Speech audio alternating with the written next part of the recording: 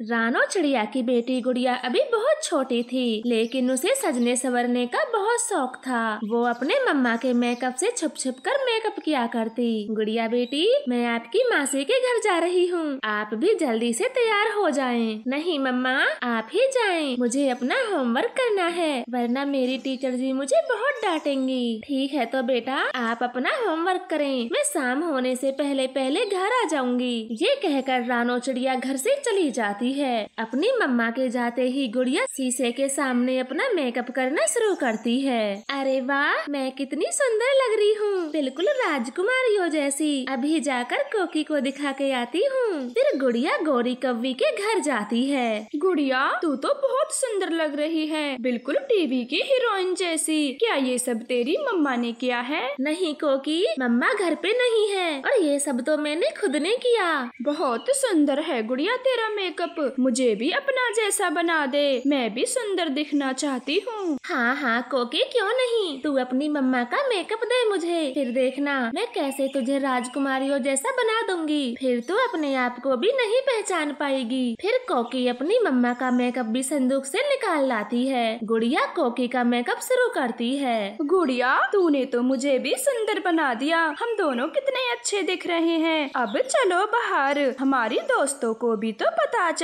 हम कितने सुंदर हैं। फिर कोकी गुड़िया को घर से बाहर ले जाती है। उन्हें जो भी पक्षी देखता, कुछ देर के लिए तो देखता ही रह जाता। और फिर हंसने लगता। गुड़िया कोकी आपके स्कूल में कोई कंपटीशन है जो आप ऐसे सजी हो? नहीं मिट्टू अंकल हमारे स्कूल में कोई कंपटीशन नहीं है। हम दोनों तो खुद से तैयार हुए हैं। हम बहुत अच्छे लग रहे हैं ना? अरे बेटा तुम दोनों का तो कोई मुकाबला नहीं। तुम दोनों बहुत अच्छे लग रही हो पर ज़्यादा देर बाहर मत घूमो। ऐसे बोलते हुए मिठू तोता वहाँ से चला जाता है और वो दोनों सहेली भी बड़ी खुशी से पूरा जंगल घूमती है और हार थक कर आखिर में नदी के पास बैठ जाती है। कोकी मेरी मम्मा तो शाम को घर आएँगी और तेरी मम्मा कहाँ गई है? अगर गौरी आंटी ने हमें ऐसे देखा तो वो बहुत गुस्सा करेंगी। हाँ गुड़िया वो तो है। पता नहीं मम्मा लूसी आंटी के साथ कहाँ गई हैं। अब मैं जाती हूँ घर। कहीं मम्मा ने मुझे ऐसे देखा तो वो बहुत गुस्सा होंगी। कोकी ने इतना कहा ही था कि तभी वहाँ पर गौरी कवि आ जाती है और वो बहुत गुस्से में थी। कोकी मैं तुझे कब से ढूंढ रही हूँ? और तू यहाँ बैठी है और ये क्या हुलिया बना रखा है? लिपस्टिक, बिंदी, हार। किसने किया ये सब? मम्मा मम्मा, मैंने कुछ नहीं किया। सब गुड़िया ने किया है। मैं तो घर में ही बैठी थी। ये गुड़िया ही मेरे पास आई। मुझे पता है, ये गुड़िया ही है, जिसे सजने सवजने का बहुत शौक चढ़ा है। नहीं गौरी आंटी जी, मैंने अपने मन से कुछ नहीं किया। कोकी ने ही बोला था कि उसे भी सुंदर दिखना है। तो मैंने बस उसका मेकअप कर दिया। गौरी गुड़िया के गाल पर एक जोरदार थप्पड़ मारते हुए कहती है, चुप, एकदम चुप हो जा। मेरी कोकी बेटी बहुत भोली है। तू ही नहीं टिकती एक जगह पर। अगर फिर से मेरी बेटी का मेकअप किया, तुझे मार मार के कहीं का ना छोड़ूँगी। चल कोकी, अब घर चल। ऐसे कहते हुए गौरी अपनी बेटी को वहाँ से ले जाती है। गुड़िया भी रोती रोती अपने घर जाती है। शाम होते ही रानो चिड़िया भी घर आती है। गुड़िया, मेरी बेटी, क्या हुआ? और आपके गाल पे ये निशान कैसा? लगता है किसी ने आपको थप्पड़ मारा है। जल्दी बताएँ जल्दी बताएँ मुझे। मम्मा मम्मा पहले आप मुझसे वादा करें कि आप भी मुझे नहीं मारोगी। तभी मैं आपको सच बताऊँगी। नहीं मेरी बच्ची मैं क्यों मारूँगी तुम्हें? अब जल्दी से बताओ हुआ क्या है? फिर गुड़िया दिन भर की सारी बातें रानो को बता देती है। छोटी सी बात पर मेरी गुड़िया का गाल लाल कर दिया। मैं बातें करूँगी गौरी से। उसे ऐसा नहीं करना चाहिए था। फिर रानो गौरी के घर पहुँच जाती है। गौरी बहन अभी मेरी गुड़िया बहुत छोटी है। उसे आपके जितने समझ नहीं है। तो क्या हुआ? जरा सा मेकअप उसने कोकी को भी लगा दिया। वो गुड़िया को थप्पड़ मारने की कोई ज़रूरत नहीं थी। आप उसे डांट भी तो सकती थी। रानो मेरे लेके तेरी बेटी दिन भर मेकअप करे और साथ में तू भी उसको लिपस्टिक बिंदी कजरा लगा। लेकिन मेरी बेटी से दूर रहना। अगर उसने अपने शौक मेरी बेटी को सिखाए तो मैं उसे ऐसे ही मारूँगी। क्या कर लेगी तू मेरा? ठीक है गोरी। आज के बाद मेरी गुड़िया कोकी से बातें भी नहीं करेगी। और आप भी ये बात कोकी को अच्छे से समझा देना। ओहो हो आई बड़ी मुझे सिखाने। मैंने तो कब का कोकी से मना कर दिया। वो तेरी बेटी से लाखों दूर रहेगी। अब तू भी भाग यहाँ से। फिर रानो चिड़िया भी चुपचाप वहाँ से अपने घर आती है। धीरे धीरे समय गुजरता गया। गुड़िया अब बड़ी हो गई थी लेकिन अभी भी उसका मेकअप करना नहीं छूटा था। ये मिठाई ले लूसी बहन। मैंने अपनी बेटी के लिए बहुत अच्छे घर का रिश्ता ढूंढा है। खाएँ खाएँ जी भर के मिठाई खाएँ। बहुत बहुत बधाई गौरी बहन ये तो बड़ी खुशी की बात है। वैसे रानो बहन आपने भी गुड़िया के लिए अभी तक कोई रिश्ता देखा है या नहीं? लूसी बहन अभी तो मेरी गुड़िया ब्यूटीशियन का कोर्स कर रही है। तो मैं अभी उसकी शादी कैसे कर सकती हूँ? लूसी शादी ब्याह के लिए पैसा चाहिए। और जहाँ से गुड़िया अपना कोर्स कर रही है वहाँ तो उसे उल्टे पैसे मिलते हैं। तो शादी की किसे पड़ी है? रानो का खर्चा आराम से चल जाता है। ये कहकर गौरी कव्वी वहाँ से चली जाती है। रानो भी उदास मन से घर आती है। बस गुड़िया बेटी, मैं कुछ नहीं जानती। अब आपको शादी करनी ही होगी। मैं आखिर कब तक दूसरों की बातें सुनूं? नहीं मम्मा, मैं शादी नहीं करूँगी। और वैसे भी कुछ दिनों की ही तो बात है। फिर मैं खुद से काम करना शुरू कर दूँगी। इस तरह से कुछ दिन बीत जाते हैं। गुड़िया ने घर में ही काम करना शुरू कर दिया था। वो पार्लर की फ़ीस कम लेती थी और मेकअप बहुत अच्छा करती थी, जिससे उसके घर में ग्राहकों की लाइन लगी रहती थी। मम्मा, आज मेरी शादी है और आपकी पार्लर वाली कहाँ है? मुझे तैयार नहीं कराना। बेटी को की अभी अभी तेरी पार्लर वाली का ही फ़ोन था। उसकी तबीयत अचानक से खराब हो गई है, इसीलिए वो नहीं आ पाएगी। मम्मा, अब क्या होगा? मैं बिना मेकअप के मंडप में कैसे जाऊँगी? मेरी शादी कैसे होगी? बेटी को की इतनी जल्दी दूसरी पार्लर वाली को कहाँ से लाएँगे? तू अपने आप से सज ले और गुड़िया को ही देख ले। जब वो छोटी थी तो कितना अच्छा मेकअप किया करती थी। ठीक वैसे ही अब तू भी कर ले। नहीं पापा, मम्मा के डांटने के बाद मैंने तो कभी भी हाथ नहीं लगाया सजने संवरने को। इसलिए मुझको कुछ भी नहीं आता। गोरी जी, फिर तो जल्दी करो। कुकी को गुड़िया के घर ले जाओ। वो ही अच्छा मेकअप करती है। नहीं नहीं कालू जी, मैं उस रानो चिड़िया के घर नहीं जाऊँगी। तो ठीक है सजा दो खुद ही इसे और बना दो चुड़ैल जो लड़के पक्षी देख कर ही भाग जाएँ। कालू कव्वे की ये बात सुनकर गौरी कोकी को गुड़िया के घर ले जाती है। गुड़िया आज कोकी की शादी है। क्या तू इसका मेकअप कर देगी? हाँ हाँ आंटी जी क्यों नहीं? मैं कोकी का बहुत सुंदर सा ब्राइडल मेकअप करूँगी। फिर गुड़िया कोकी का जल्दी से ब्राइडल मेकअप शुरू करती है। गौरी को गुड़िया का मेकअप बहुत पसंद आ रहा था। कुछ ही देर में कोकी सारा मेकअप खत्म कर देती है। रानो अच्छा किया तूने जो गुड़िया को मेरी तरह डांटा नहीं वरना आज वो इतनी अच्छी मेकअप आर्टिस्ट कैसे बनती? हाँ गौरी बहन हुनर तो बच्चे का बचपन में ही दिख जाता है। कैसे छुप छुप के गुड़िया मेरे जाने के बाद मेकअप किया करती थी? और दूसरों का भी। और देखें आज पूरे जंगल में मेरी बेटी गुड़िया का नाम है। उसका जैसा मेकअप करना कोई नहीं जानता। बड़ी दूर दूर से पक्षी आते हैं हमारे घर। रानो बहन अब पुराने झगड़े माफ़ करो और मेरी बेटी की शादी में चलो। गौरी, मैं तो कब का सब कुछ भूल चुकी हूँ। हम दोनों कोकी की शादी में ज़रूर चलेंगे। फिर रानो गुड़िया भी जल्दी से तैयार होकर कोकी की शादी में चली जाती है और खुशी खुशी कोकी की शादी हो जाती है। प्यारे दोस्तों, आपने भी बचपन में अपनी मम्मा के मेकअप से छुप छुप कर मेकअप किया है तो हमें कमेंट करें। आपका धन्यवाद। टुन्नू चिड़ा मेहनत मजदूरी करके अपने परिवार का पालन पोषण कर रहा था। इस महँगाई के जमाने में टुन्नू के परिवार का गुजारा बड़ी कठिनाइयों से होता था। जब उसे काम मिल जाता तो उसका परिवार भरपेट भोजन खाता। लेकिन किसी किसी दिन काम न मिलने की वजह से उनको भूखा ही सोना पड़ता। टुन्नू जी, कल दिवाली है, कहीं से पैसों का इंतज़ाम हो जाता तो बच्चों के लिए थोड़ी मिठाई और पकवान बना देती। वरना दिवाली के दिन भी हमारे दोनों बच्चे उदास रहेंगे। मैं क्या करूँ, रानू जी? चार दिन से कोई काम नहीं मिला। रोज पूरे जंगल में जाता हूँ और खाली हाथ ही लौट आता हूँ। हो सकता है आज मुझे कोई काम मिल जाए, क्योंकि कल दीपावली है। लक्ष्मी माँ की कृपा आप पर हो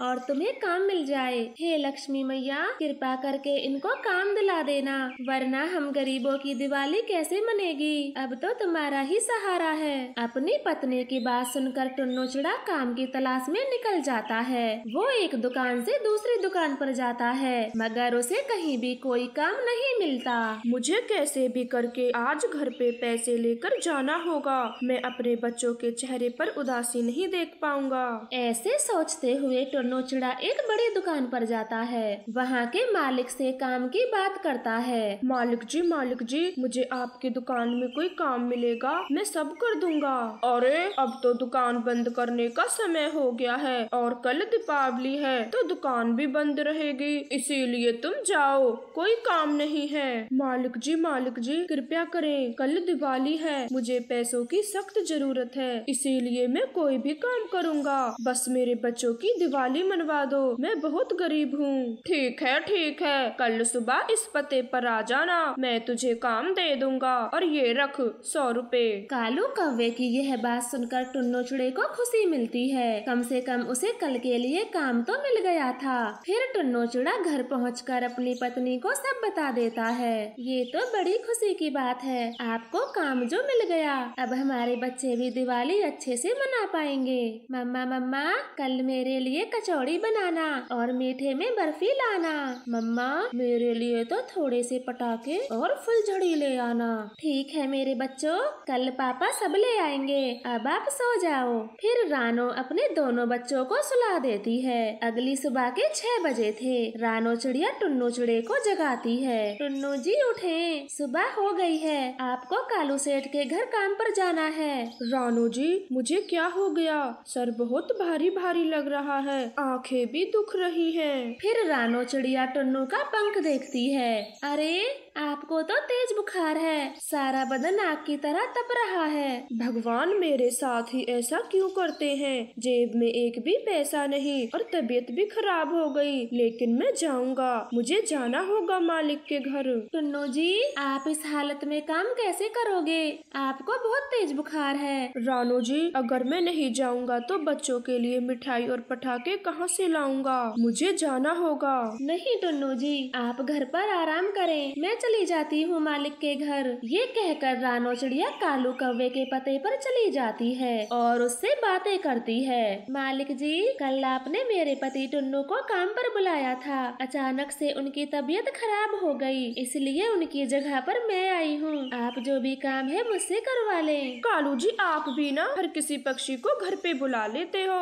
गोरी जी, कल इसका पति मुझसे बहुत विनती कर रहा था तो मैंने सोचा घर में दिवाली की पार्टी है, कोई ना कोई काम कर ही देगा। जानना पहचान। बनने चले हैं गरीबों के मसीहा। और तुम चिड़िया, अच्छे से सुनो, अच्छे से बगीचे की सफ़ाई करो और स्टोर रूम से लड़ी निकाल कर सारे बगीचे में लगा देना। तुझे तेरे पैसे शाम को मिल जाएँगे। ठीक है, मैम साहब। मैं सारे काम अच्छे से कर दूँगी। आप बिल्कुल चिंता ना करें। फिर गौरी कौवी घर के अंदर चली जाती है और कालू कौवा भी कुछ काम से घर से बाहर चला जाता है। मैं जल्दी जल्दी बगीचे का काम खत्म करती हूँ। फिर पैसे लेकर टुन्नू जी को भी तो दिखाना है। उन्हें बहुत तेज बुखार है। ऐसे सोचकर रानो जल्दी जल्दी काम करती है। गौरी का बेटा जग्गू बहुत शैतान था। वो हर समय कोई ना कोई शैतानियाँ करता रहता। ये नई नौकरानी तो बहुत भोली है। इससे ही थोड़ी शरारत करता हूँ। जब ये स्टोर रूम में जाएगी तो पहले से ही अंदर रखे पटाखों में आग लगा दूँगा। जब आंटी डरेंगी तो बड़ा मज़ा आएगा। ऐसे योजना बनाकर जग्गू कौवा स्टोर रूम के अंदर चला जाता है और पटाखों की लड़ी को जला देता है। अब नई नौकरानी को जल्दी से स्टोर रूम के अंदर भेजता हूँ।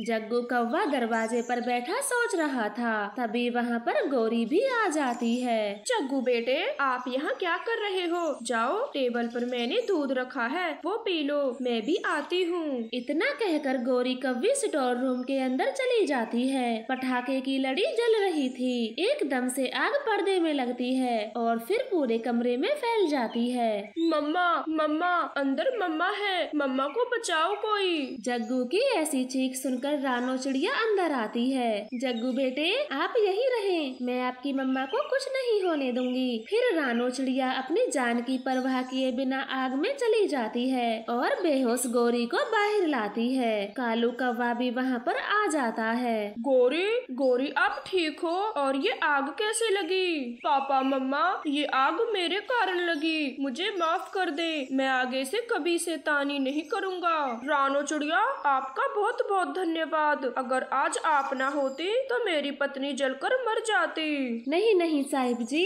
ऐसा मत बोलिए। ये तो मेरा फ़र्ज़ था। अब मैं चलती हूँ। शाम हो गई है। मेरे बच्चे मेरा इंतज़ार कर रहे होंगे। रानो रुको। ये पाँच हज़ार रूपए मेरी तरफ़ से।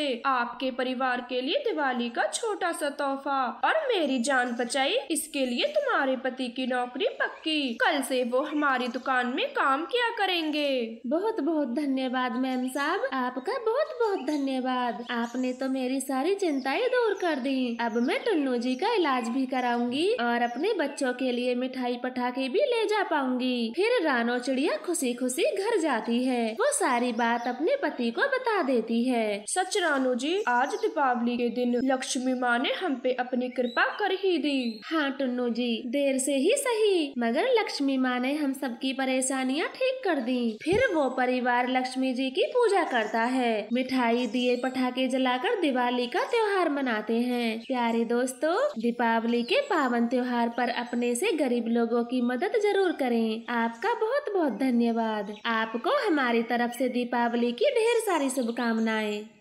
लूसी कबूतर हरी तोती तालाब पर पानी पीने आई थी। तभी उनसे गोरी कब्बी कहती है, लूसी हरी तोती, दो दिन बाद करवा चौथ है। क्या तुमने करवा चौथ की नई नई शॉपिंग कर ली है? नहीं गौरी बहन, अभी तक तो कुछ भी नहीं खरीदा। तो क्या करवा चौथ निकल जाएगा तब खरीदोगी? अभी से शुरू करोगी, तभी जाके खत्म होगा। ठीक है गौरी कव्वी, हम आज ही चलते हैं बाज़ार। पूरा सामान आराम से खरीदेंगे। मैं तो कहती हूँ हम एक लिस्ट बना लेते हैं। हर बार कुछ ना कुछ भूल जाते हैं। पिछली बार मैं अपने ब्लाउज के लटकन लाने भूल गई थी। पड़ोस की कोयल ने सौ रुपए के दिए थे लटकन। तो फिर ठीक है। हम रानो चिड़िया को भी ये बता देते हैं। वो भी हमारे साथ चल देगी। और लिस्ट भी उसी के घर बना लेंगे। ऐसे बातें कर वो तीनों चिड़िया के घर चली जाती है। मम्मा मम्मा, आज क्लास में टीचर जी ने मुझे फिर से खड़ा किया। बोल रही थी, कल अपनी के साथ आना, वरना वो मुझे क्लास में बैठने नहीं देंगी। मेरी बच्ची, अब टीचर जी की भी क्या गलती है? छह महीने से मैंने आपकी फ़ीस नहीं दी। सारी गलती मेरी है। लेकिन क्यों मम्मा? आप मेरी फ़ीस क्यों नहीं देती? कुकू, आपके पापा का ना तो कोई पत्र आया है, और ना ही उन्होंने एक रुपया भी भिजवाया। तो मैं क्या करूँ? घर के खर्चे के लिए भी पैसे नहीं है मेरे पास। तो फिर फैसला हो गया मम्मा। मैं कल से स्कूल नहीं जाऊँगी। जब पापा आकर मेरी फ़ीस भर देंगे मैं तभी स्कूल जाऊँगी। ये कहकर कुक्कू खुशी से उछलती हुई दोस्तों के साथ खेलने चली जाती है। लूसी तोती और गौरी कव्वी ने कुक्कू की बातों को थोड़ा थोड़ा सुन लिया था। रानो चिड़िया ये कुकू क्या कह कर गई है? और वो स्कूल क्यों नहीं जाएगी? लूसी आठ महीने से टुन्नू जी का कोई पत्र नहीं आया है इसलिए कुक्कू की फ़ीस रुकी हुई है। तो बस कुक्कू की टीचर जी ने स्कूल न आने की उससे बात कही। इसलिए वो कहती हुई गई है। कोई बात नहीं चिड़िया बहन, हो सकता है विदेश में टुन्नू भैया खूब तरक्की कर रहे हो। इसलिए आपको पत्र लिखना भी भूल गए होंगे। लेकिन आप चिंता ना करो, करवा चौथ पर तो हर बार आते हैं टुन्नू भैया। रानो, क्या सच में पिछले आठ महीनों से टुन्नू चुड़े का कोई पत्र नहीं आया? कहीं विदेश में कोई खूबसूरत चिड़िया तो नहीं मिल गई, जो आपसे ज़्यादा खूबसूरत हो। हाँ हाँ गौरी। विदेश में गोरी चिट्टी चिड़ियाएँ रहती हैं। मेरी एक पिंकी सहेली के साथ भी ऐसा ही हुआ। उसका पति विदेश में जाकर हमेशा हमेशा के लिए बस गया। बेचारी पिंकी आज भी उसका इंतज़ार करती है। आप दोनों कैसी बातें कर रही हो? मेरे टुन्नू जी ऐसे बिल्कुल नहीं है जैसा आप सोच रही हो। होरी कव्य हरी तोते जरा मुँह संभाल के बातें करें। टुन्नू भैया रानो और अपने बेटे को छोड़कर कहीं नहीं जा सकते। हम जिस काम के लिए आए हैं उसी की बातें करो કરો माफ़ करना लूसी मगर सच तो यही है। अब रानो को भी यह मानना होगा। आज नहीं तो कल। चलो हरी तोती, हम शॉपिंग करने चलते हैं। अब रानो क्या करेगी? बेफजूल की खर्ची करके। गोरी, मुझे अपने पति पर पूरा भरोसा है। वो ज़रूर आएँगे। लूसी बहन, मेरे पास रुपये नहीं है, जो मैं नया सिंगार खरीद सकूँ। इसलिए मैं पुराने सामान से ही व्रत रखूँगी। आप सब जाएँ। ऐसे बातें कर वे तीनों रानों के घर से चली जाती हैं। और ढेर सारी शॉपिंग करती है। अगले दिन चिड़िया चुपचाप अपने घर के दरवाजे पर बैठी हुई थी। चिड़िया को अकेला देख गोरी कव्वी उसके पास आती है। ये देख रानो कल मैंने कितनी ढेर सारी शॉपिंग की है। लाल बनारसी साड़ी नया चूड़ा और नए सैंडल। जरा बता तो तुझे कैसा लगा मेरा सामान? बहुत सुंदर है आपका सामान। हाँ मैं भी किससे पूछने आ गई हूँ। तुम तो मेरे सामान को देख कर जलोगी ही। आखिर पति जो चला गया तुम्हें छोड़ के। गोरी बहन आप ये कैसी बातें करती हो? मैं भला आपके सामान को देख कर क्यों जलूँगी? जलने के अलावा और काम भी क्या रह गया तेरे पास? इतने महँगे सामान को देखकर